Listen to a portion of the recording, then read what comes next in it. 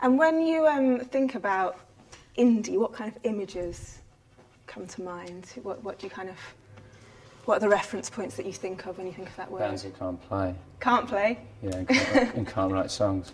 Would That's you what, that's what I think of when I think of indie. really? So you wouldn't a, say it's a it's not word a. for me. Oh, okay.